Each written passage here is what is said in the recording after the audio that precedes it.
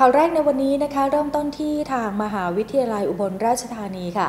ได้มีการประชุมร่วมกับกรมราชองครักษ์สำนักพระราชวัง และสำนักงานจังหวัดอุบลราชธานีเพื่อเตรียมการรับเสด็จ พิธีพระราชทานปริญญาบัตรในวันพฤหัสบดีที่ 20 ธันวาคม 2561 เวลา 8นาฬิกา45 นาทีค่ะ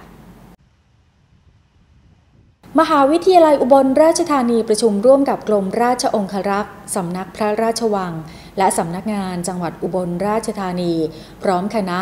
ลงพื้นที่เพื่อเตรียมความพร้อมในการรับเสด็จสมเด็จพระเทพรัตนราชสุดาสยามบรมราชกุมารี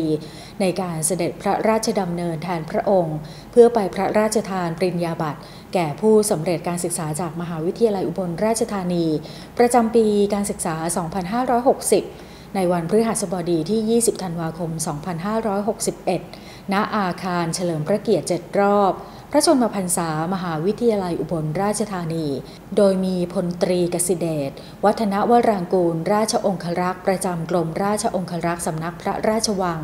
นายวิรุธวิชัยบุญ รองผู้ว่าราชการจังหวัดอุบลราชธานี และรองศาสตราจารย์ ดรนงนิติระวัฒนสุข อธิการบดีมหาวิทยาลัยอุบลราชธานี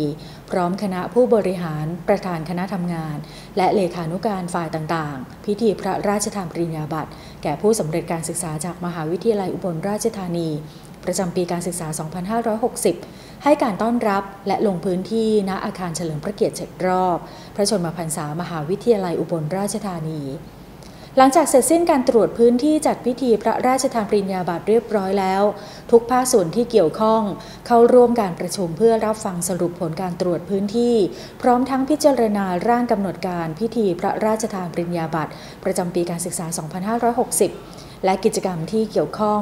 รวมทั้งรับฟังข้อชี้แนะ และแนวทางปฏิบัติ ตลอดจนบทบาทและหน้าที่การดำเนินงาน ที่คณะทำงานแต่ละฝ่ายต้องรับผิดชอบดำเนินการให้สำเร็จ ตรงตามเป้าหมายและวัตถุประสงค์ที่กำหนดไว้ เพื่อให้การดำเนินงานในพิธีดังกล่าว เป็นไปในทิศทางเดียวกัน ณห้องประชุมแกรนบอลลูม โรงแรมยูเพลสมหาวิทยาลัยอุบลราชธานี